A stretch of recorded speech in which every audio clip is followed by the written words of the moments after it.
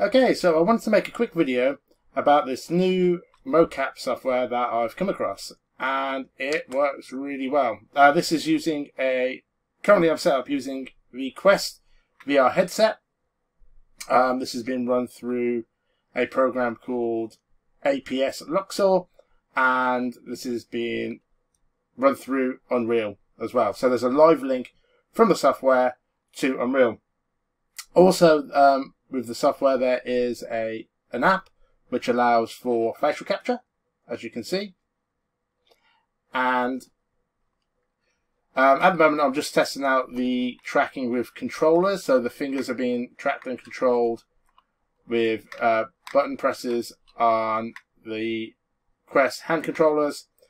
But there is also an option for full finger tracking as well with a different setup. Um, this can also be run uh, using the Vive trackers. So you can put um, trackers on your elbows and on your feet and on your hips for full tracking. And that's something that I will be testing out soon.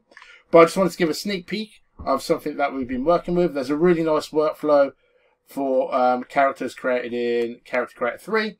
So they can be brought into the program and used to create this type of avatar for VTubing, Twitch gaming, or anything like that.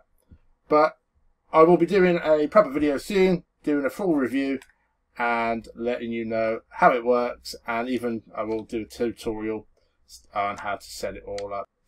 The program has uh, lots of cool features um, which I'll, I'll go into in detail in another video um, soon. Um, lots of things that can be adjusted and edited. Um, have a check out the uh, his YouTube channel uh, for some cool videos on what he's working on, what he's developing. Um, I'll put a link down below um, so you can check that out. But yeah, very impressed with how this all works, and we'll be doing a lot more tests and stuff soon. And like I said, we've got the Vive uh, VR headset with trackers to test out the full body capture shortly soon.